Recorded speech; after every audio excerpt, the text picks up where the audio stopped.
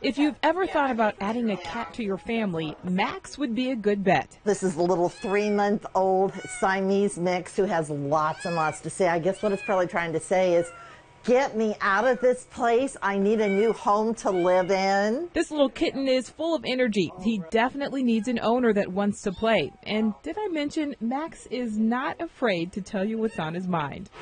Very active. He is. He truly is. He's just as cute as he can be. Little Siameses are, are very vocal. Mary Jones from the Council Bluffs Animal Shelter adds that Max would do very well in a home with another cat. Since he's a kitten, a, a house with another cat would be great. Uh, even better would be adopting one of his litter mates that are in the cage with him.